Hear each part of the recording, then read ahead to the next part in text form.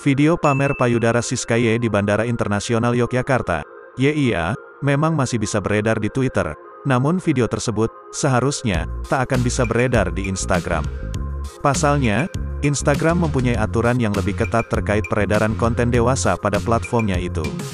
Berbeda dengan Twitter masing-masing memperbolehkan peredaran konten dewasa dengan syarat tertentu. Di Twitter, konten dewasa hanya dilarang di profil, header, maupun banner. Konten tersebut masih boleh muncul pada postingan, namun pengunggah harus menandai akunnya sebagai akun sensitif. Selain itu, ketelanjangan dalam konten seni, kedokteran, kesehatan, atau pendidikan, tidak dianggap sebagai konten dewasa.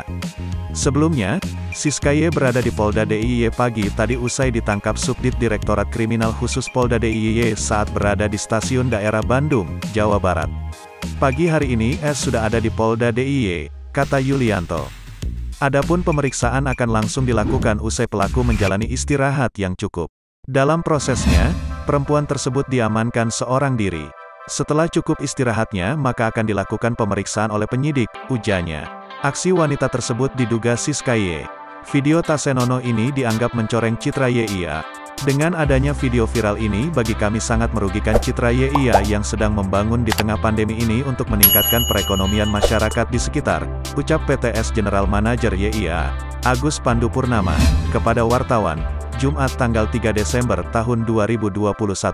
Dikutip antara. Kami sudah melaksanakan kegiatan-kegiatan positif, di antaranya adalah kami undang 56 desa wisata dan budaya untuk selalu melaksanakan kegiatan seni budaya di bandara, karena YIA jadi bandara budaya. Namun di tengah itu ternyata ada yang mencoreng dengan video viral, sehingga ini sangat merugikan, sambungnya.